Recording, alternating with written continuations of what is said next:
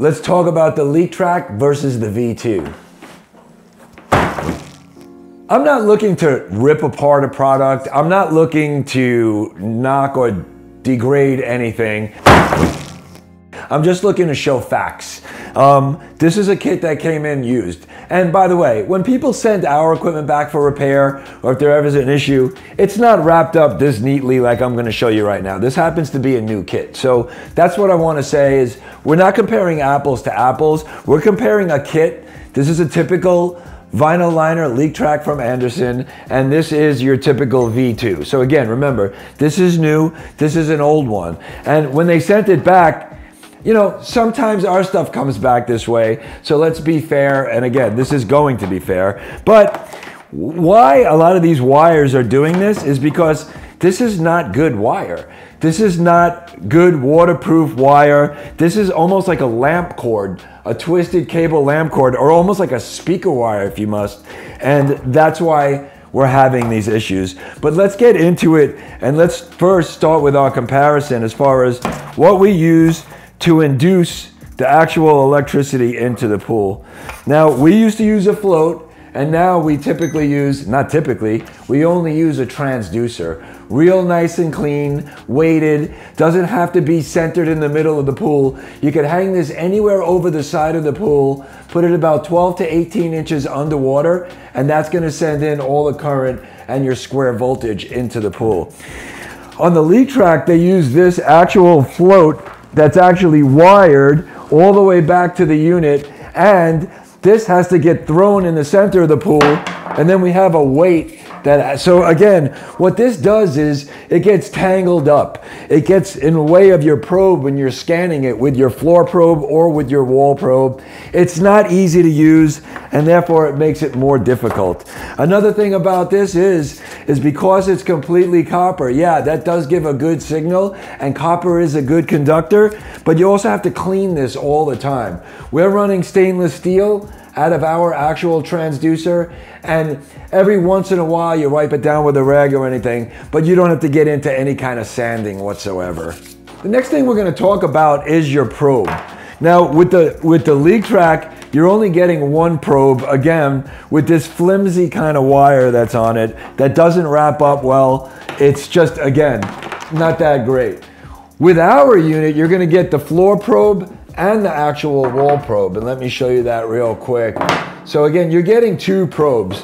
When you're working with this kind of equipment, we have a floor probe so that you're not picking up false positives. Now, you can pick up false positives with both sets of equipment. There's nothing better than one as far as getting false positives. And false positives are actual grounds that are in the pool. So if it's a light niche, if it's a rail, if it's step screws, if it's leak skimmer screws or main drain screws, those will show as a leak.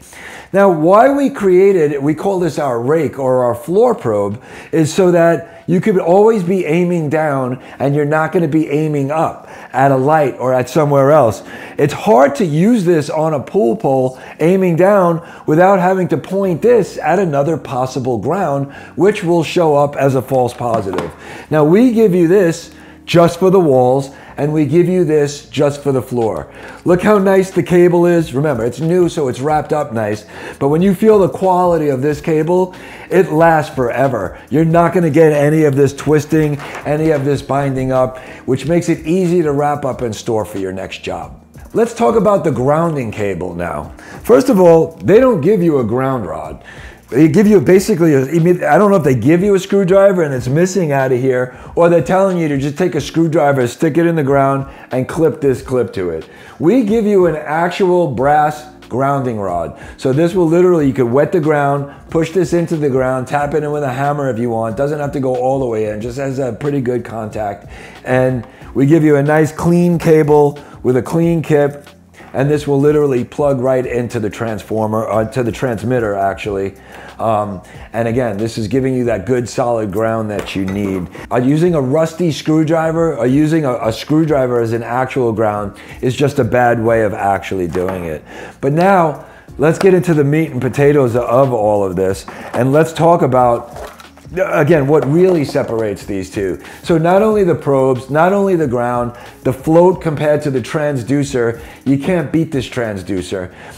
the main components are our rechargeable transmitter and our rechargeable receiver. These are the biggest differences that you could possibly imagine, and let me show you why. Uh, one of the things on their transmitter is, is again, you have an on and off switch. It's very basic, but here's the big thing that you need to know about, and this is gonna get sped up.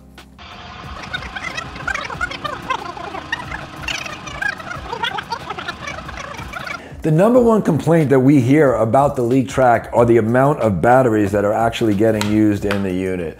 So when you take a look, you got one, two, three, four, five, six, seven, eight. There's all sorts of issues with corrosion on these batteries because it's not the greatest of waterproof. There's no gasket on here to seal it off. And again, you just have to go through a lot of batteries to use this unit. In comparison, when you're looking at the transmitter of the V2, it's fully rechargeable. This unit is watertight. You never have to open it back up. You never have to get back in there. It comes with a charging cord, charging cable. You could charge it from your truck and you could typically get four to eight swimming pool leak detections done out of this unit. Again, you can get a whole day's worth of leaks done on this unit and then it actually has a rechargeable battery battery on the actual receiver itself. So again, plug it in. It has a low battery indicator, tells you everything that you need to know. But the number one thing that you also need to know is about the potentiometer, which will actually control the amount of voltage that's going into the pool.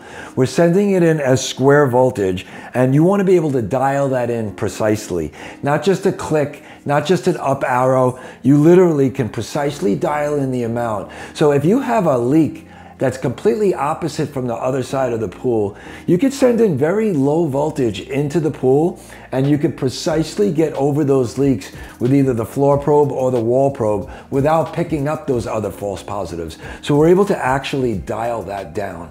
Let's talk about one of the biggest factors when it comes to um, this equipment, this vinyl liner equipment.